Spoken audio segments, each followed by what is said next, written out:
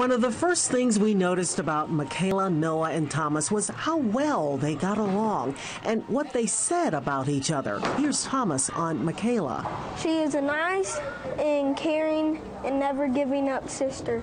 And Michaela? Thomas is, well, he's kind of short.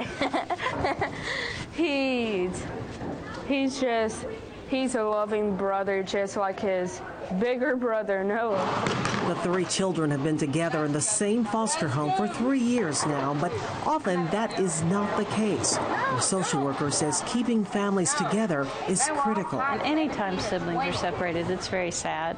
And if you can keep them together in any way, then it's best to do that. But there was a time in the beginning when Michaela was separated from her brothers. It was really hard. Like, I pretty much locked myself in my room. All studies show that children will grieve the loss of a sibling longer than they will that of a parent. And that's why she's working hard to find a permanent place where all three can be together in a place they can finally call home.